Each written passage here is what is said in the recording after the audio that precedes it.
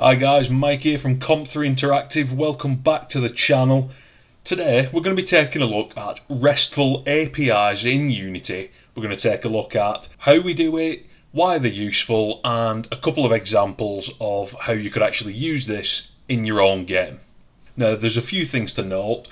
If your game is going to be using an online API call, then it's going to need an internet connection. If it doesn't, you can't get this data. So just bear that in mind. And the one that I've selected is going to be of absolutely no use to anybody, but this is just for an example, and we're going to be using chucknorris.io. And what this is going to do, this is going to return a JSON format response from the API, and it's just going to have a Chuck Norris joke. So like I said, this is going to have absolutely no use in your games whatsoever unless your game revolves around Chuck Norris jokes, then go ahead, have at it. But this is just to show you very simply how you can go ahead and make these GET calls from an API.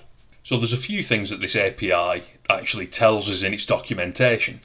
So the GET request needs to go to https api.chucknorris.io slash jokes slash random. So if we click that, we should actually see the JSON that's being returned.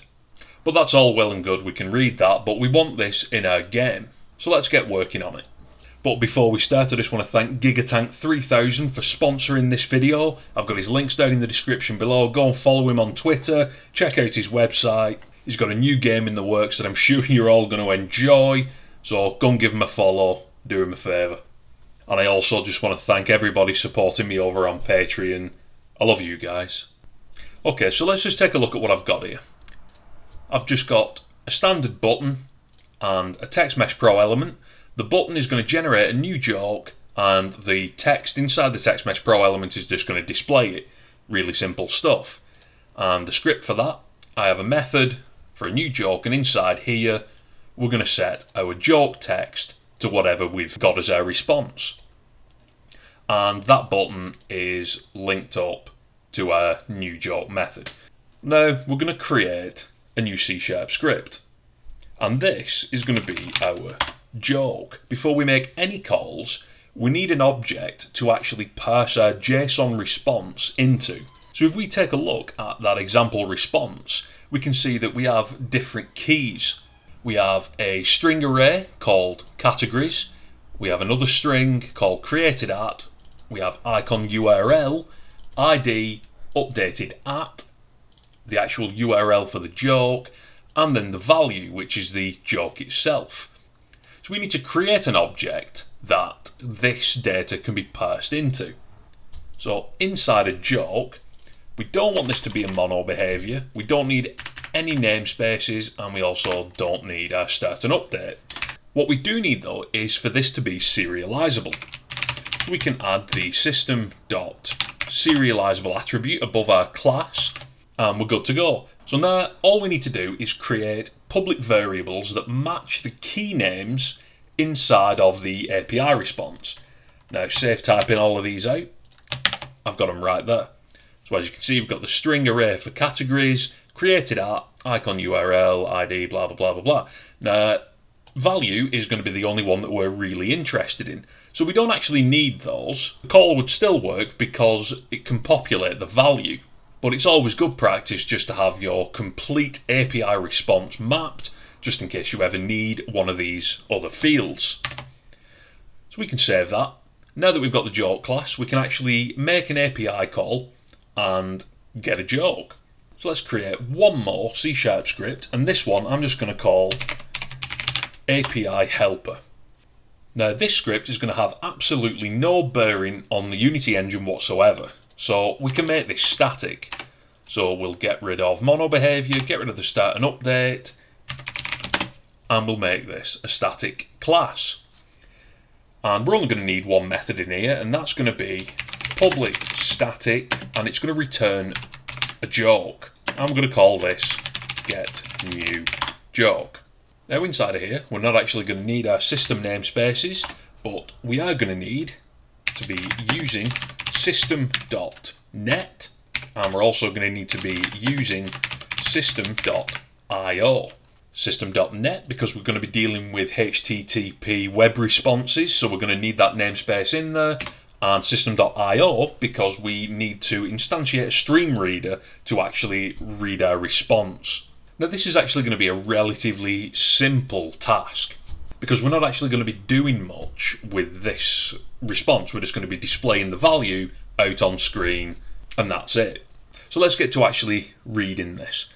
So the first thing we're going to need is a HTTP web request. So that's our actual request that we send out to gather the information.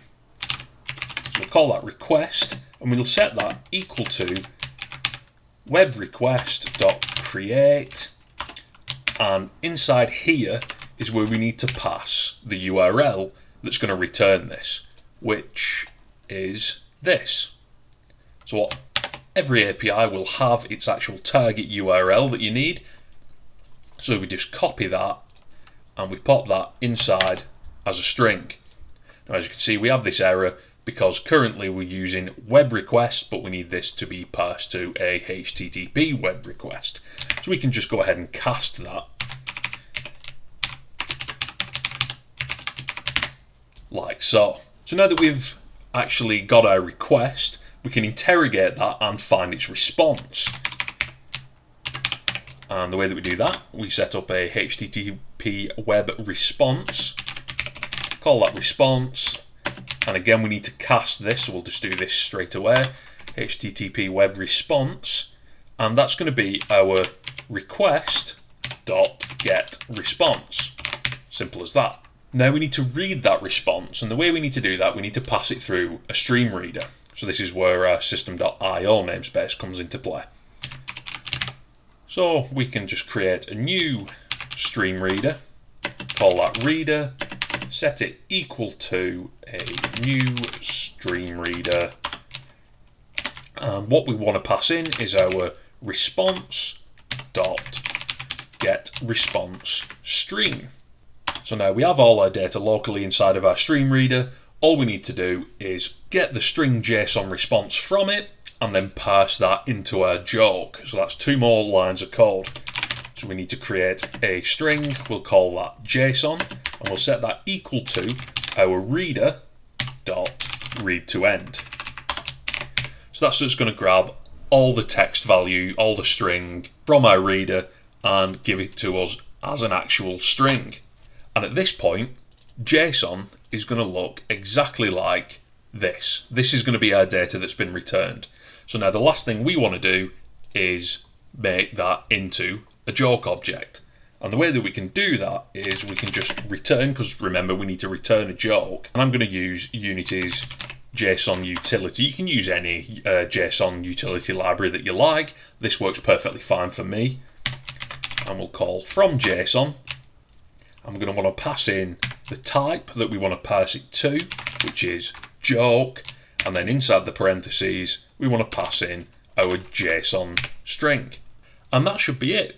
So we're creating our request, we're getting the response from that request, we're getting the value stream into a reader from the response, we're passing that reader into a string called JSON, and then we're going to pass that JSON into a joke object. So the last thing to do is actually call that method. So inside of our new joke, all I'm going to want to do is create a new joke. I'm calling it J. Set that equal to API helper dot get new joke, and then we can set joke text dot text equal to j dot value. Remember, value is our actual joke in the object.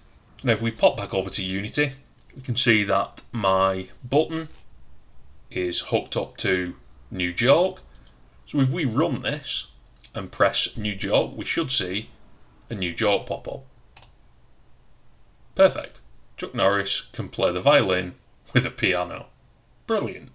And every time we press that, we're going to get a brand new Chuck Norris joke.